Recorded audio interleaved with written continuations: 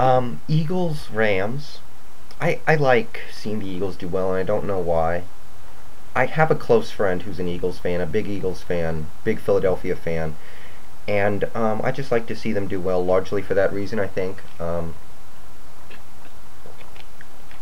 you know, I know a lot of you guys are Cowboys fans and will not agree with me, but I've always, you know, found guys like McNabb and Westbrook just really likable, and I like to root for him. And Andy Reid, he comes from that Mike Holmgren tree, so you know their domination was entertaining.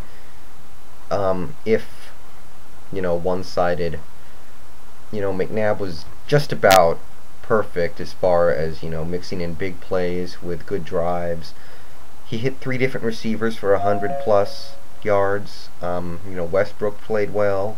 You couldn't have asked for much more from Philadelphia. It's just the perfect, excuse me, perfect uh, way to open up a season.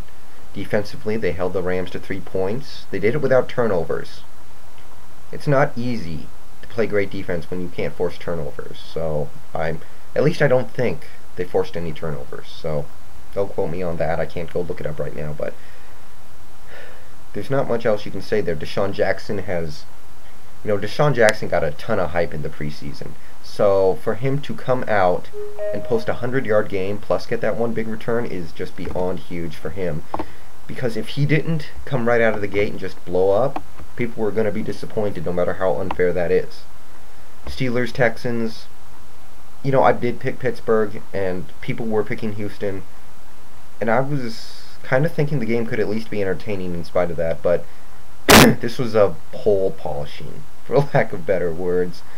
Um, you know, we like to talk about Houston. I think a lot of us want to see Houston do well because they are the newcomers and they've never won and they haven't won anything significant yet. They haven't done anything yet. So we like so we'd like to see them do well. And I, I I don't know, I just think that and I think this was the year a lot of people thought they were going to make the step and maybe they would. But maybe them winning on the road against Pittsburgh was too much. But anyway, they did not look good. Only bright spot here was Mario Williams, who played wonderfully. Mario's really shaping out to be a nice pick.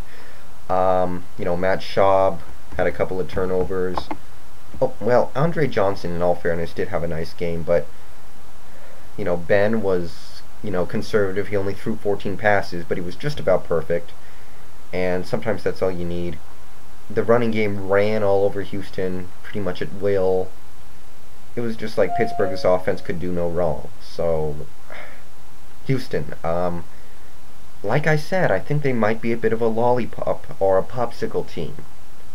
And what that is, that's actually a Bill Simmons term. It's kind of hard to explain, but it basically means they didn't. Uh, I guess a popsicle team is basically a team that didn't really do anything significant last year, like go to the playoffs. And then over the offseason, everybody gets excited over them. And they end up being a little overrated. Last year, that team was San Francisco. This year, I think that team could be Houston, but week one is week one, and um, anything can still happen. Pats and Chiefs. Um, it's tough to talk about a game like this now because the game just happened less than 12 hours ago. So there's historical context in this game. There really is. I mean, can you name other if if the reports all say that Tom Brady is out for the season, it seems very likely that he's going to miss the rest of the season. It, it, it, most people have already carved it up in stone, and I'm not surprised. It looked like an ACL tear to me. So you're talking about a three-time Super Bowl champion, likable Hall of, future Hall of Famer, likely a future Hall of Famer because, well, actually he's not really likable. Um, you know, coming off an MVP season, and you know all the underdog story about his career, and he's hurt, he's out for the season in week one, he's gonna miss a whole season, and can you think of a sports injury previous to this, like in any sport, with that kind of significance to it? Um, you know, I think about like a guy like Bo Jackson, but he had not done anything huge in his career yet. You think about a guy like Michael Irvin, but he had already accomplished pretty much all of what he was going to accomplish.